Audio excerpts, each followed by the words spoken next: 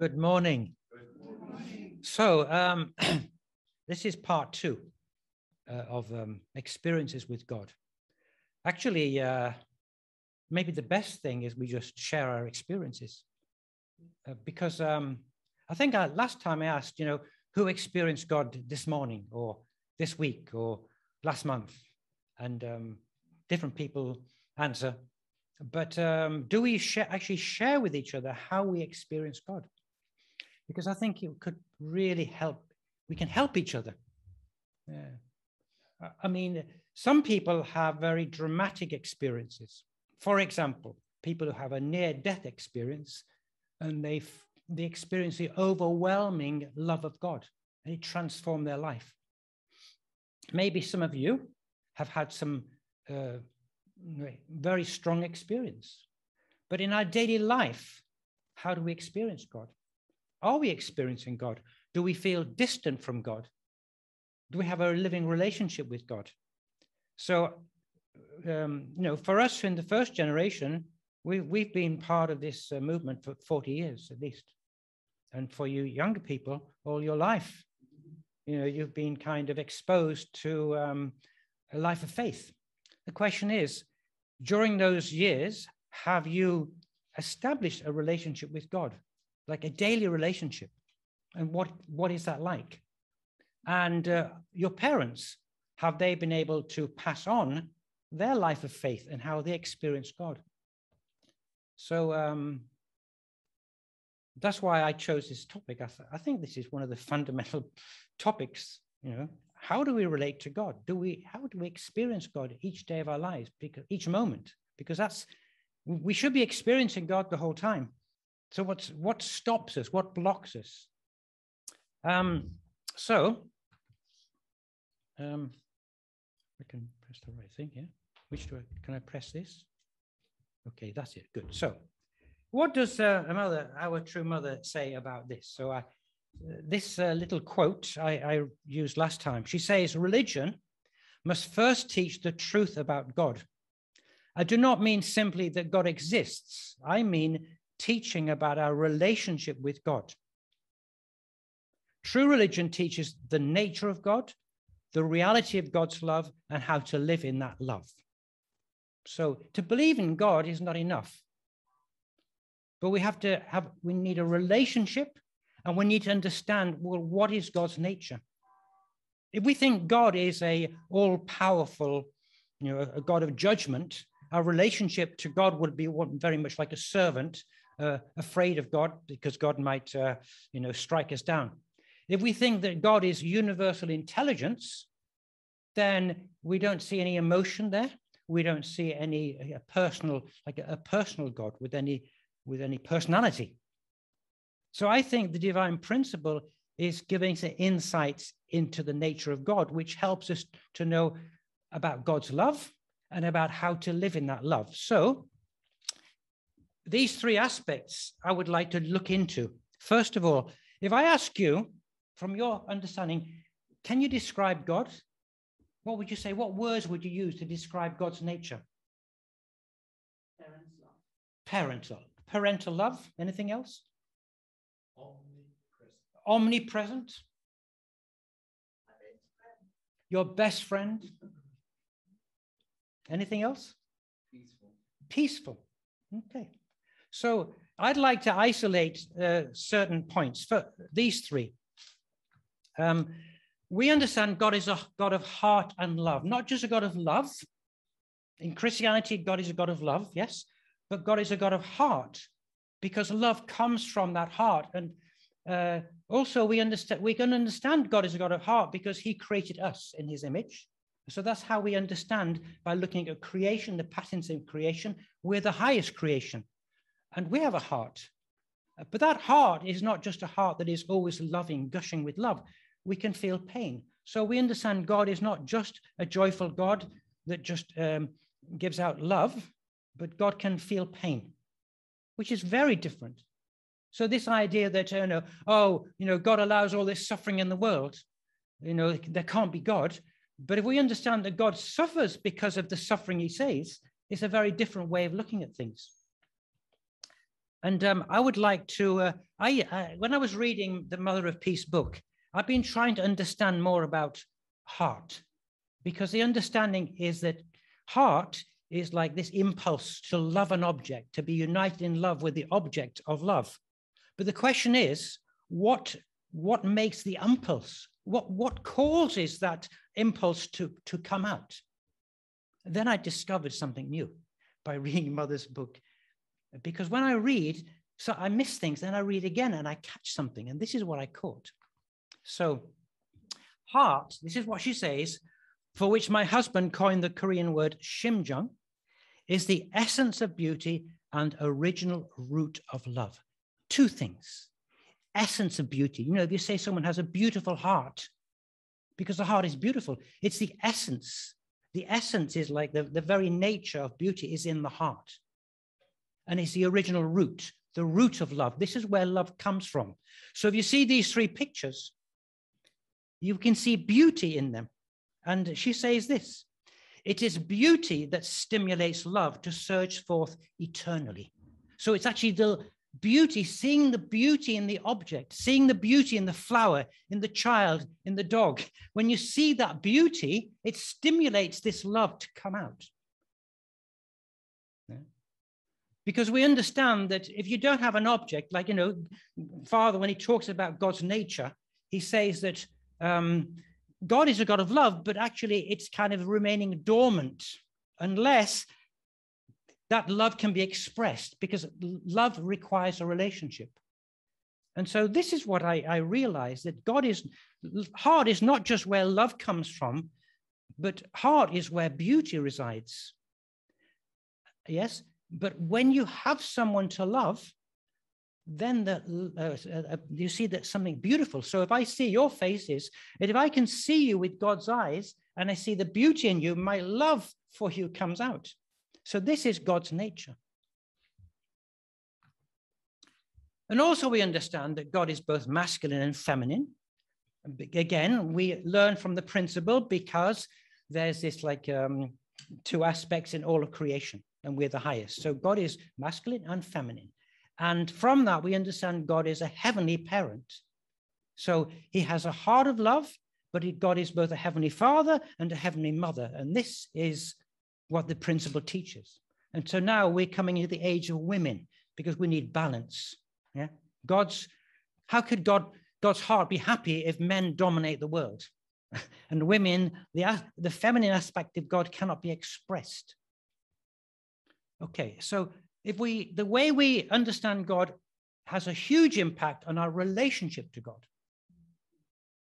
That's why we need to understand God. if we want a relationship to God, if we understand that He's actually my parent and I'm His child. Therefore, if you are a parent and I'm a parent, when I see beauty in the, the, the, the, the way my child behaves, it brings out this love for them. So God looks at us and he sees the beauty in us, even if we do very bad things. So even if we are, we feel far from God, God's love is always there because he sees the beauty, because he created us in his image. He sees that beauty, so he cannot help but love us. But if we don't feel God's love, how difficult that is for God. He wants us to feel his love, and we, we don't feel it. We don't, and then we say, oh, well, there is no God. So God's situation, the heart, the heart suffers in that sense. And me as a parent, if my children show this filial piety, my heart is moved. If they don't, I feel something is missing. Yeah? What about the reality of God's love? If I asked you what, I mean, I've already explained a bit about love, but it's, you know, love exists in a relationship. Of course, I can look in the mirror and I can say, I love myself and uh, because I can see God in myself or you know what God created, but it needs to be activated, and is parental love. Parental love, these three things, unconditional. There's there's no conditions. God will love us no matter what. Parents love no matter what. Sacrificial.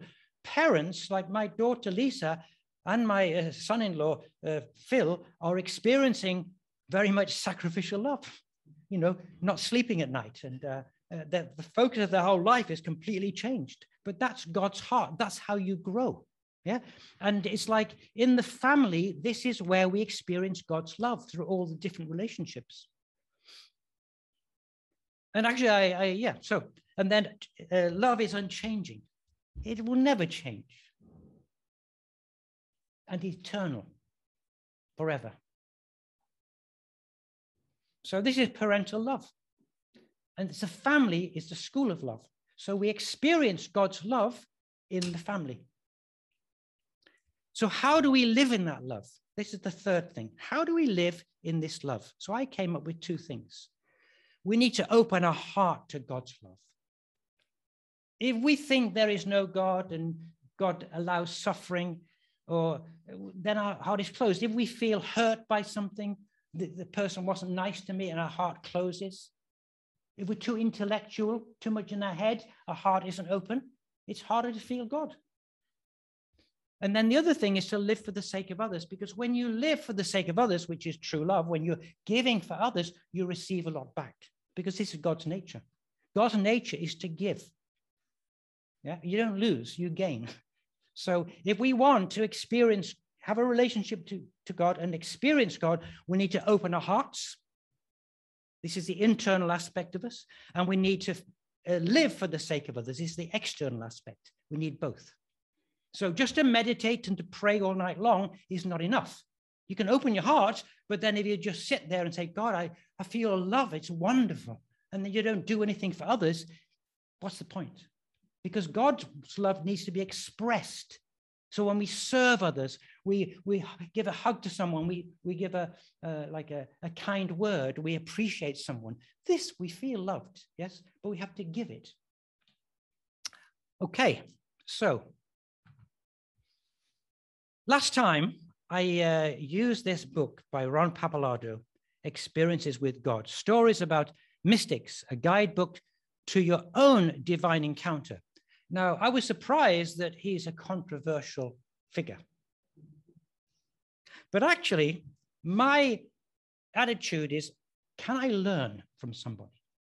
Maybe his views are different from yours or mine, but I think he's a very sincere person. And I think he is, he wrote this book because of his own experiences. So what can I learn from him? So this is my attitude. There are many people in the world I may not agree with, but can I learn something from them? So I want to review uh, some of the, the things he, uh, are in this book.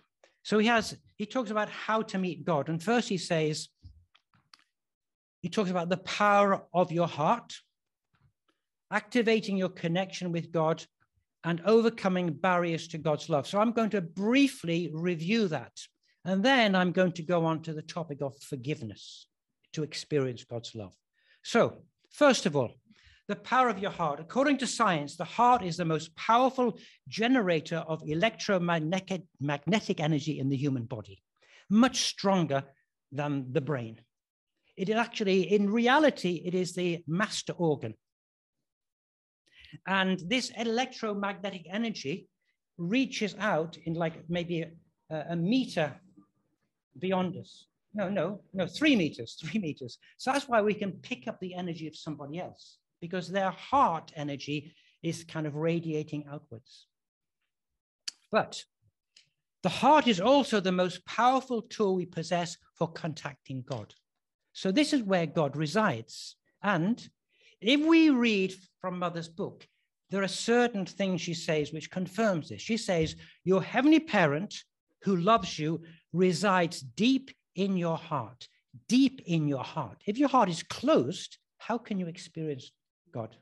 You have to open your heart because it's deep inside. God planted his heart inside of you. But we live a very external life and we're very busy, and but we don't pause and try to tune into our heart, then how can we feel God? Secondly, she says, you are designed to hear God's true voice. God designed us. It's not something special for certain people. Every single one of us, we are designed by God. We have this heart, which if we're open, we are, God, God can speak to us. She says, Your heart is your closest teacher. In the face of difficulty or confusion, ask your heart. Ask your heart, your closest teacher. And also, she says, we all need to hone our ability to hear the true voice of Heavenly Father and Heavenly Mother in our hearts. To hone means to tune in, to tune in. Yes? So, how do we tune in? You know, you, you, you tune in different channels on a radio. We need to tune into God's channel. How do we do that? How do we activate it? Open our heart. Positive emotions raise the vibration of our heart. If we achieve a state of calmness and patience, cultivating gratitude for the many simple things in life, our heart begins to vibrate on the same wavelength as God, and we can start experiencing communication. So there's a certain wavelength, a certain vibration that we have to tune into. God is always there. God is dwelling in our heart. God is not up there, out there, far away. God dwells in us. But we have to get into the same vibration, tune in. So that's why we pray. When you pray, you open your heart, you share with God. I mean, I suppose heartfelt prayer, sometimes it's very hard to pray. I can say the words, but I don't feel it in my heart. But so if we can pray from our heart, because it opens up, we're talking to God. And also meditate. Meditation is when you stop your thinking. If you stop your thinking, then you're more in touch with your heart. Maybe you need to do both. I mean, you know, meditate, calm your mind down, and then open your heart. Of course, studying God's word is also, it opens your mind and your heart because those words are coming from God. So God's words are on a certain vibration and they stimulate your mind and your heart. So that's why studying continuously is very important. There are a lot of false words around us, but we need God's word to tune in to God's heart. And if we're in nature, nature, God designed nature so we can feel joy. It opens our heart. Sweden is a wonderful example of beautiful nature, especially in the summer. But of course, a true Swede would love every single season, especially winter. Yeah. because it's pure. Yeah. So it this opens up our heart, tunes us into God's um, nature. And we sing and listen to uplifting music. So that's why we sing before we there is a sermon. Singing opens up your heart. And also, if you listen to uplifting music, it's moving. Yeah. And um, if you watch inspiring movies, sometimes I, after watching an inspiring movie, I feel very moved.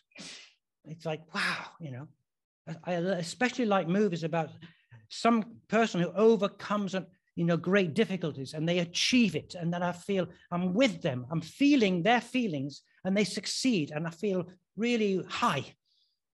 So there are many practical ways you could say in our daily life to open up our hearts and to activate like raise our vibration and activate connection to god but of course this is more the internal work yes opening our heart to God, God's love. But the external, to live for the sake of others. We need to practice that. We activate our connection God by God by the way we live. So, for example, Anne Marie doing all the um, the food this morning, yeah, you know, that activates her connection to God. And I think Valtraud was making a cake. It's great, you know. Yeah. So when we do things for others, it raises our vibration because this is God's way of life. Secondly, overcoming barriers to God's love. So, unworthy. Of course, if I ask you, do you ever feel unworthy? You may say, no, I'm fine, you know, I'm fine. But actually, I think the truth is all of us, to some extent, we're infected with this feeling of I'm not good enough. You know, I'm sinful or I'm got God is, you know, I'm not worthy for God or I've got all kind of problems. I'm not worthy. And that creates a separation. The idea that God is up there and I am here, this is ridiculous because God is inside of us, but we are blocking God because I don't feel I don't feel worthy for God to be with me. But God is inside your heart wanting to come out. But I, am not good enough. I'm not good enough. So we have to be willing to let go of the false belief that we are not worthy of God's love. We are all God's children, created in the image and likeness of God. It is our birthright to claim God's love. It's a false belief that we're not worthy. It's our thinking, our feelings that convince us we're not worth it. And if we don't feel God, it's that's you could say that's justification for saying I'm I'm not really worthy because I'm I'm too far away from God. Unconditional love of God, it doesn't matter, you know, the worst people in the world, like our enemy, God loves. That is God's way to love your enemy. That's what Jesus did. That's what true parents have done. Yeah. Even in your own family, maybe a family member is a bit like your enemy. Yeah. But uh, but we have to love. We have to love. So these are all kind of um, negative emotions. Uh, I don't know. One of them is certainly anger. Another one looks like shock, or one looks very confused, or one maybe is crying. I don't know. But negative emotions are a barrier to experiencing God's love. Anger, jealousy, or resentment don't vibrate on the same wavelength as God's love. It is our individual responsibility to create positive emotions and raise our vibration. But if you're angry, if you feel jealous or resentment because of what someone said or did to you, it's very hard to get rid of that pain. If you're hurt, uh, little children, you know, they may cry and then the next moment they're fine. But us adults, if something, if somebody says something like a hard word or upsets us, it's very hard to get rid of. Would you agree? yeah, if you know, rela- human relationships are difficult because we misunderstand. Uh, we we we lack the capacity to um, to kind of understand or embrace that person because we have limitations. It's true. It's true. We are, but to say we're unworthy is not true. We are very much worthy, but again, it's our own thinking and our emotions which block us. How can we experience God's love if we have resentment? Or we're jealous, or we're angry. So now we come to forgiveness because this is how a very big factor in overcoming this barrier to God's love the power of letting go. When you have a conflict with somebody or something hurts you and you feel angry, can you let it go? Because that's what forgiveness involves to let it go. Don't live in the past. Don't regret the past. Don't feel, oh, I'm a failure because of the past. You look at us. We are unificationists. When I joined, we were told you need to find three spiritual children. How many people did that? Any of you managed that? Maybe did many more. I think most members members have not been successful at all at doing this. So we can say, yeah, I'm so unworthy, you know, I'm so far away from God. Um, so it's very easy to kind of be, we have to forgive ourselves, yeah? Not, not dwell upon what we didn't do and what's wrong. If you look at your own family, maybe things have not turned out the way you had hoped. Do we dwell upon that? Do we feel I, I made a mistake? I did something wrong and I can't forgive this person and I can't forgive myself. I failed. We have to let the past go because God doesn't dwell in the past. God dwells in the present.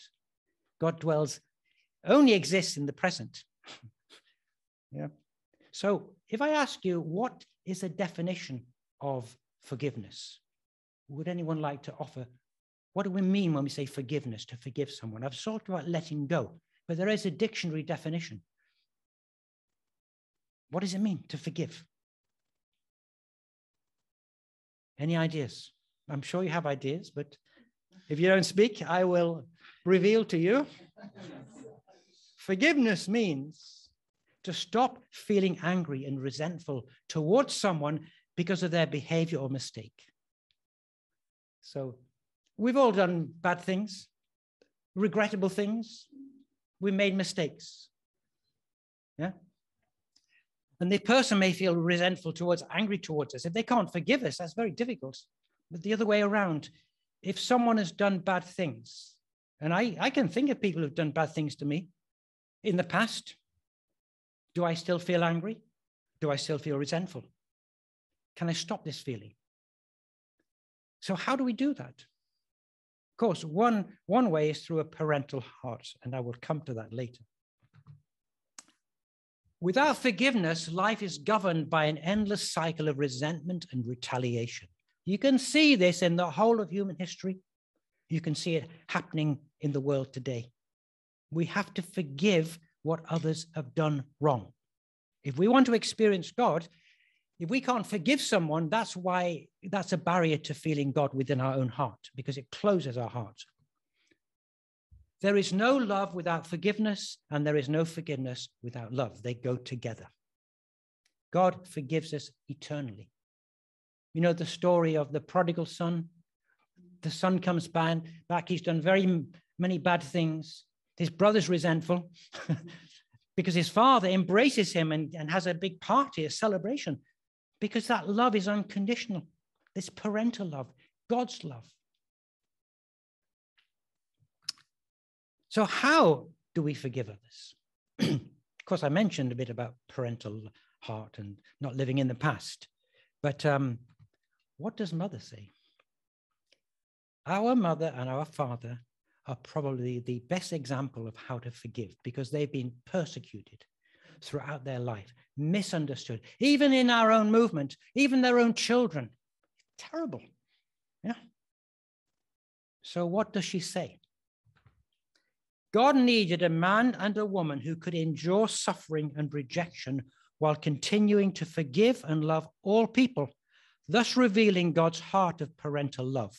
This quote, before this, she talks about how Korea, God chose Korea and chose the only begotten son and the only begotten daughter because they were needed to go through this, that they could reveal God's heart by enduring suffering and rejection, but just to forgive. This has been their path. That's why they are the greatest people on this earth or in spirit world, because of their capacity to forgive in, in, in enduring this suffering. Mother knew and father knew that once they took on this mission, they would suffer. They would be rejected. But by forgiving those who accuse them and by loving all people, then they could overcome completely and reveal God's heart of parental love. In the same way, Jesus on the cross, he said, Father, forgive them. They know not what they do. He revealed parental love. So she says this My husband once saved the life of a Japanese prison guard who had severely tortured him. The torture took place in the police station in Gyeonggi province at the, uh, oh, anyway, Korea, South Korea should be, of the, during the Japanese colonial rule. When Korea was liberated in 1945, this policeman could not find a way to return to Japan. He went into hiding but some Koreans found him and were intent on killing him. The policeman, Kamada Hara, was only hours away from death when my husband heard of the plot. He took it upon himself to free Mr. Hara and get him on a small boat heading out the country in the middle of the night. He was tortured. Father was tortured by this man. But when this man was in danger of losing his life, what did father do? He saved him, He forgave him. If you were tortured by anybody, the trauma you would feel for years and years and years, could you forgive? All those people who went to spirit world, like in Africa, for example, or under communism, you know, uh, when they go to spirit world, they're traumatized and they can't they can't move on. So that's why Mother did these ceremonies to liberate them, liberate them from their resentment. Yeah. So this policeman, he, he, he knew he'd done wrong. His conscience told him, but Father liberated him. He showed him the ultimate love. Father has been in prison six times. Three occasions he was tortured. On one occasion, he was thrown out as if dead.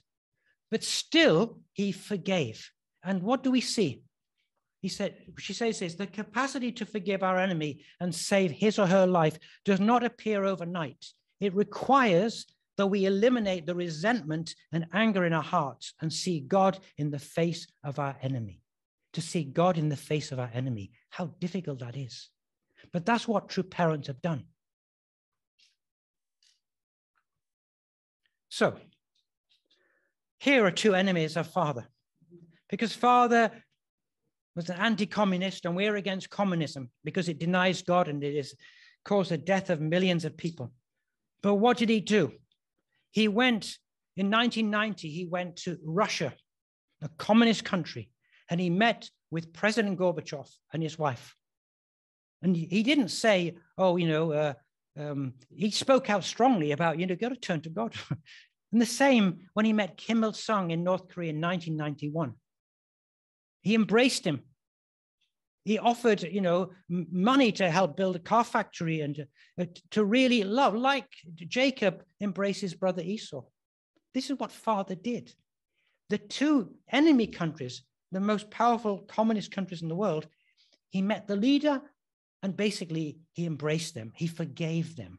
He looked in the eye of Kim Il sung and he forgave him. Incredible.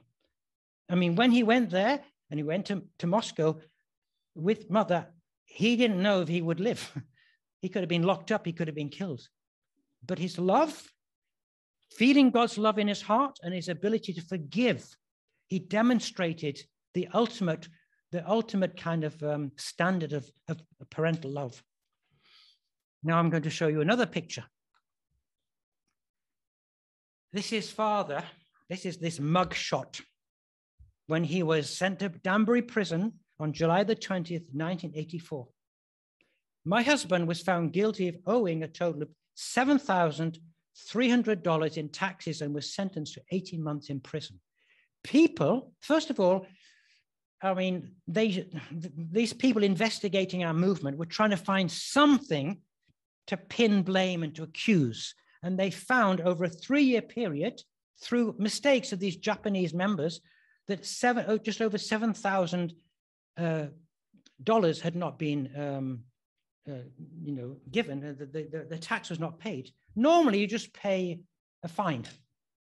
But this was not for father. They wanted to stop him from actually coming back to the country. He was in Korea at the time, but he came back because he was innocent but he was imprisoned for what for uh, 18 months. Can you imagine? This was the sixth time in a democratic country he was put in prison. A feeling of deep darkness descended as we watched Father Moon enter the prison. He was embarking upon an unfair prison term in a foreign land, and I knew that I had to forgive the people who had put him there. It was our opportunity to practice our movement's most fundamental ethic love your enemies, live for their sake. To forgive and love those who accuse and deceive is what we came to call the Danbury spirit. The Danbury spirit is to give and give even after everything has been taken away, to forgive those involved, then to persevere, knowing something greater is bound to occur in accord with the heavenly will. So if I look at Father's face, I feel such sadness that he's being treated like this. How was he? Oh, was he then about 65? Yeah, he was born 1920, so he's 64 years of age to be treated like that. But, but, he was also imprisoned, I think Mrs. Kamiyama, uh, because he was Japanese uh, involved as well. But this are some words from Father from prison. He says, I am honored that I could secure, serve time in Danbury to protect religious freedom. Sincerely in Christ, Sun Myung Moon. You know, to protect religious freedom. So, what happened when he was in prison? Many religious leaders throughout America saw this was an attack on religious freedom. If he was attacked, could be put in prison, it meant anyone could. So, what happened? All those people from different religions who had opposed Father stood with him for a common cause. So, actually, him paying indemnity, him going to prison was not all lost. He, he, he went that way willingly, but it actually strengthened religious freedom at that time in America. And this is the day that he's released. He was released because of his good behavior. and he was embraced by these uh, different religious leaders. So he, he came out and he was victorious. But he was willing to go that path. And actually, when the, the uh, decision was given for him to go to prison, you know what he did? He walked across the court. He went to the chief prosecutor. He wanted to shake his hand. And the chief prosecutor got embarrassed and he put his papers together and he, he walked out. Even then, he was showing he forgave him because he didn't understand what he was doing. What a heart. So, how can I? This is father. Okay, this is mother. One challenge for us is that they do things on this huge scale, but I'm not father. I'm not. You're no, we're not. We're not the same as them, and we don't have the same challenges. But we do have challenges. We are confronted by things which hurt our heart, and we want to take revenge, or we feel resentment. It's hard to forgive. So how do I do it? How do I do it? So now I come back to this book, Experiences with God. Ron Pappalardo, in his book, he um, gives three things that he has done, which may be helpful to you and may be helpful to me. One is a forgiveness meditation, one is a forgiveness inventory, and one is a forgiveness prayer. So if any of these uh, you feel are useful and helpful, then you can use them. So first of all, a forgiveness meditation. When I was a young man, I was angry at my father because I didn't feel a lot of love from him growing up. And I thought he had been harsh with me when I was a child. I wonder if any of you felt that when you were a child? Your parents were a bit too harsh. Actually, my father, I would say, was harsh. He was a good father, but growing up, you know, it was difficult for him. Um, so I'll come back to that later. But um, I so let me, he says, I tried to see my father the way I thought God saw him. I pretended that I was looking at my father as if he were my son and I was the father. I reviewed his life from, with that perspective. So again, having a parental heart. And I'd like to read a bit more the details of his father's life. His father, uh, you know, his memories of him when he was a child is that his father was full of demeaning and frightening experiences. He had a very, uh, very strong temper. And if upset, if anything upset his father, he, he, would be quite frightening. And sometimes he was physically abusive. One time he, he, he took a, a metal coat hanger and smashed it on Ron's, uh, on, on Ron and it broke. Another time he wanted to hit him and his mother came in the way and hit his mother instead. But he wasn't violent all the time, but there were occasions. It was more, I think, his anger. And so I can relate to that. My father, he had a very sharp voice, and it was quite frightening. Yeah. So um, also, he, Ron Pappalardo's father called him words like knucklehead and idiot. Yeah.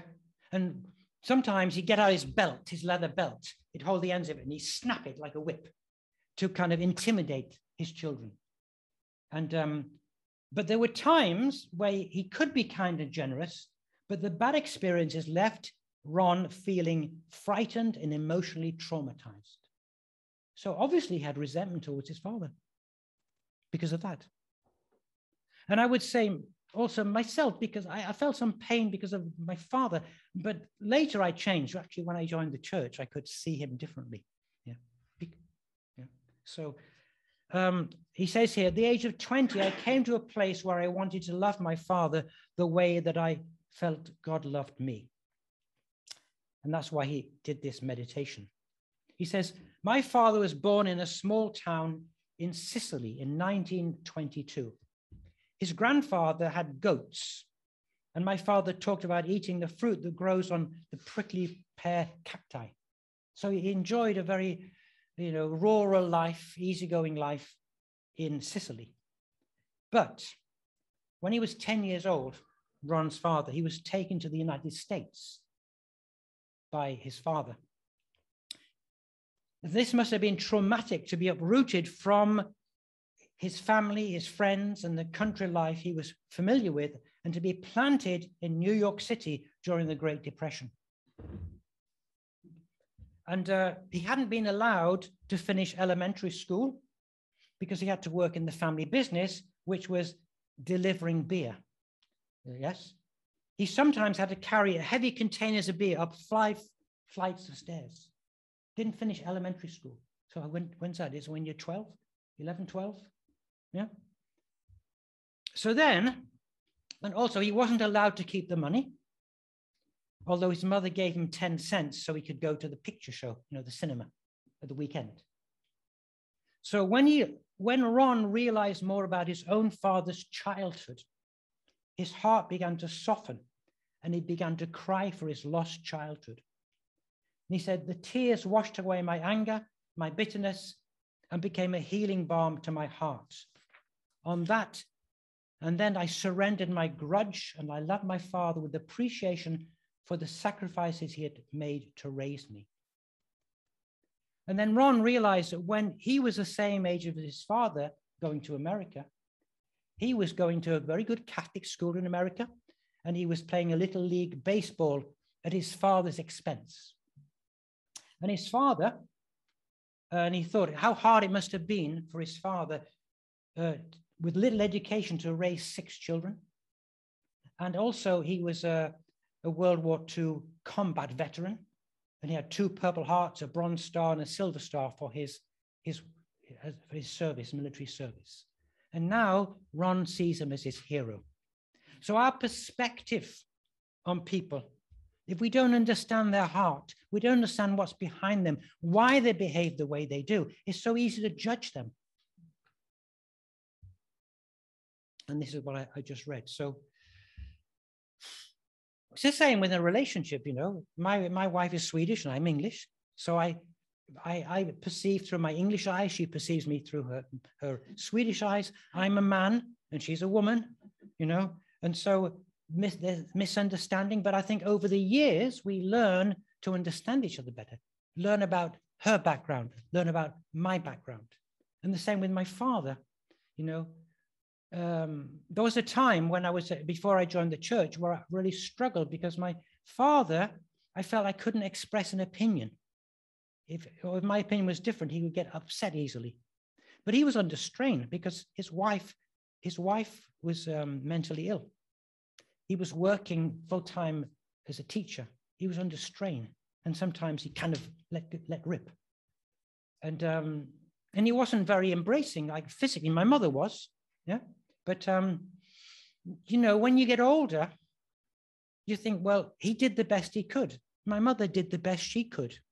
So now, when I joined the church, and I understand this thing about living for the sake of others, whenever I visited my family, and I tried to do that as much as I could, I just was there to serve and to listen, to listen to my father. He talked about the war, and, and he needed someone to talk to because his wife was not that kind of person. Uh, when he was um, when he was young, he, he almost died at the age 10. He got some um, sickness which could cause like brain damage, but he survived. Um, he became an electrician. He lost his job. His family had no money. They had to kind of sell things off. In desperation, he joined the army. You know, he suffered a lot. So my compassion for him developed. But also later in life, I could see being a Christian, he had a very good heart. But when you're a child, you don't see that. That's why, you know, we, we should look at our parents, we, we, we should forgive them. we should have compassion for them. So, secondly, uh, this is another idea which I tried, I think is it can be helpful. He says this review your life. Make a list of all the people who have hurt you in any way, or those, those who you feel you cannot give your love, you're withholding your love.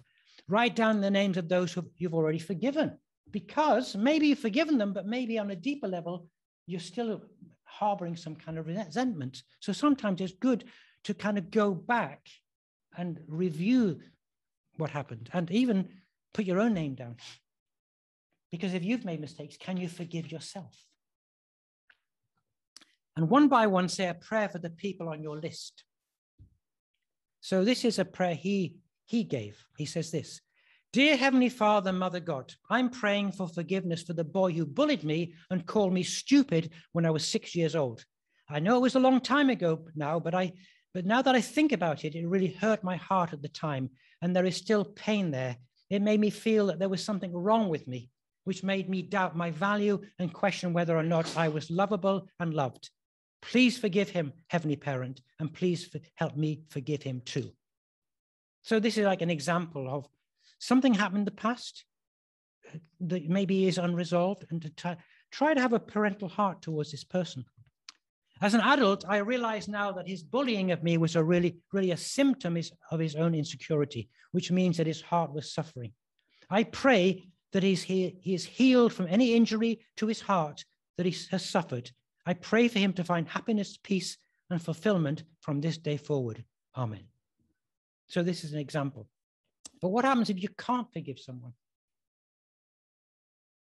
You feel you can't. So here's a prayer, a suggested prayer if you can't. Dear Heavenly Father, Mother God, I honestly don't feel like forgiving this person on the list. What this person did to me was so extreme that I just don't feel any compassion for them at all. Yet I know that you can forgive them, and I want to be healed of my own pain. Please help me. Please help me, my heart to open. Help me to see this person with your eyes so that I can gain a forgiving heart and find healing both for myself and for this person. Amen. So now I'm coming to the conclusion. So in the beginning, I'm talking about experiences with God. So I mentioned mother talks, in order to have a relationship to God, we need to understand God's nature, the reality of God's love, and how to live in that love. And so these were the aspects I came up with God of heart and love, masculine, feminine, heavenly parent. Love exists in a relationship, parental love, unconditional, sacrificial, unchanging, eternal. And we need to open our heart to God's love and live for the sake of others. So, some final thoughts from Mother. So, these two aspects open your heart to God's love, live for other the sake of others. This is what I, she says in relationship to these two things. The capacity to forgive requires that we eliminate the resentment and anger in our hearts and see in see God in the face of our enemy, a parental heart. That's what we need to do. Open our heart, find within ourselves, you know, how does God feel towards this person? Can I see this person with God's eyes to, to allow, because God loves this person. And secondly, live for the sake of others. To find true happiness, we need to practice true love. True love means living for the sake of others, serving others, not being served. True love means to forgive endlessly, not just forgive 70 times seven, like Jesus said, but endlessly. And with those final thoughts, I'd like to finish. Thank you for listening.